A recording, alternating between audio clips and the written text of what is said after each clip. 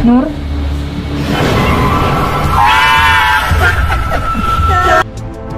Assalamualaikum, hello para bosku. Terima kasih masih setia bersama channel Lingkaran Hitam. Kali ini kita akan mengungkap kelanjutan kisah KKN Desa Penari Yang dalam dunia perfilman mendulang sukses Hingga menorehkan sejarah film misteri yang banyak ditonton. Momen itulah akan ada kelanjutan film KKN Desa Penari Semoga konten ini dapat bermanfaat dan bisa menginspirasi bagi kita semua. Siapa yang tak penasaran dengan kisah KKN Desa Penari? Lantaran heboh dan ramai dibicarakan, momen itu diambil oleh pihak produksi film untuk menggarapnya dan benar saja, penayangan film ini pun sukses. Banyak orang menilai jika kesuksesannya lantaran momen yang pas, seperti sejak pembatasan Covid bioskop mengalami penurunan signifikan. Maka setelah pasca lebaran, film dirilis dan di bioskop masyarakat langsung antusias. Menonton sebagai bentuk kangen menonton bioskop, apalagi kisah ini ramai dibicarakan. Berharap rasa penasaran itu terobati. Mengingat film ini sukses dan banyak menghasilkan cuan yang tak sedikit, berharap kembali untung, mengingat banyak masyarakat yang masih penasaran lantaran kisah dalam film itu banyak yang menggantung. Isunya dalam waktu dekat akan ada film KKN di Desa Penari ada versi extended atau versi diperpanjang sehingga diharapkan masyarakat lebih puas dengan kisahnya dari jawaban adegan yang menggantung. Menyusul dengan ledakan jumlah penonton KKN di Desa Penari, muncul kabar bahwa film KKN di Desa Penari akan tayang dalam versi extended. Kabar soal KKN di Desa Penari versi extended ini muncul dari jejaring media sosial Twitter beberapa hari yang lalu.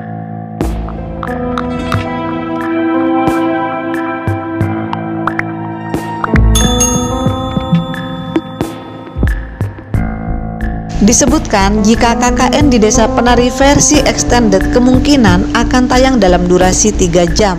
Lebih lama dari KKN di Desa Penari Uncut Tak hanya itu saja, akun tersebut bahkan mengunggah poster film KKN di Desa Penari.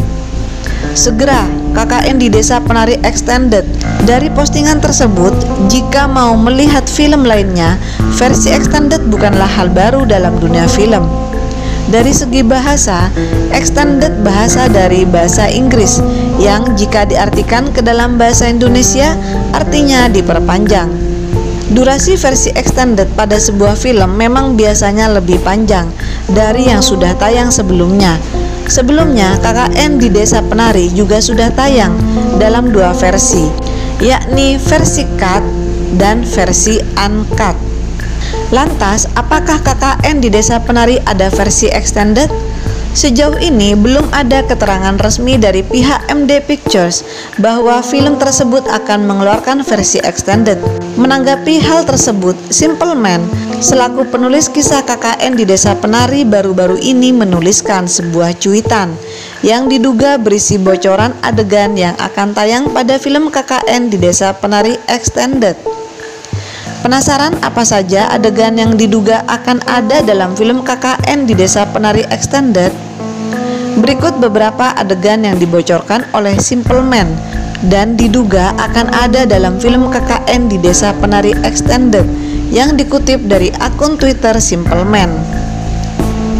Dalam cuitannya, Simple Man meretweet sebuah cuitan dari akun Twitter Bicara Box Office yang mengunggah sebuah tangkapan layar email kepada Awi Suryadi, sutradara film KKN di Desa Penari.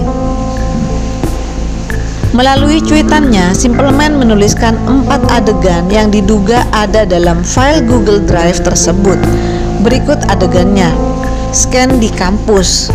Scan Anton dan Wahyu yang melakukan hal rada geblek Scan warga kesurupan masal waktu buat proker KKN. Scan Mas Ilhan ngamuk sama Mas Prabu dan masih banyak lagi.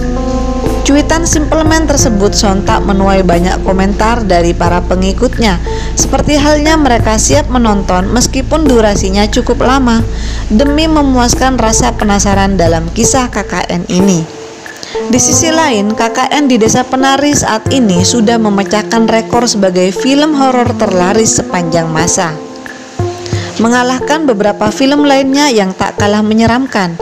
Terhitung sampai saat ini, film KKN di Desa Penari sudah ditonton sebanyak lebih dari 8 juta kali dan diperkirakan akan terus bertambah. Keuntungan Manoj Punjabi atas kesuksesan film KKN di Desa Penari menjadi sorotan. Pasalnya, film garapan PT MD Pictures Tbk ini berhasil meraih lebih dari 7 juta penonton hanya dalam waktu 19 hari setelah ditayangkan. Film ini sekaligus menjadi film Indonesia terlaris sepanjang masa. Lantas, berapa perkiraan keuntungan Manoj Punjabi dari film KKN di Desa Penari? Keuntungan Manoj Punjabi dari film KKN di Desa Penari Manoj Punjabi selaku Direktur Utama MD Pictures dan produser film KKN di Desa Penari mengumumkan bahwa film garapan sutradara Awi Suryadi ini telah berhasil menembus angka 7 juta penonton. Sudah dapat dipastikan keuntungan dari kesuksesan film KKN di Desa Penari ini pun tidak main-main. Meski demikian, budget untuk biaya produksi film ini juga tidaklah sedikit dalam sebuah wawancara, Manoj Punjabi menyatakan bahwa biaya produksi yang dihabiskan untuk membuat film fenomenal ini mencapai 15 miliar rupiah. Meski demikian, Manoj tidak menyebutkan biaya promosi yang dihabiskan untuk film ini. Jika dilihat dari jumlah penontonnya, per tanggal 20 Mei 2022, total penontonnya mencapai 7 juta penonton.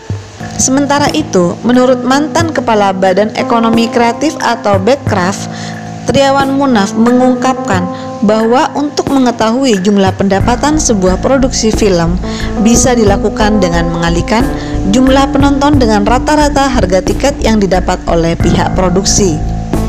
Menurut Triawan Munaf, rata-rata produser mendapatkan jatah Rp15.000 untuk satu lembar tiket bioskop yang terjual.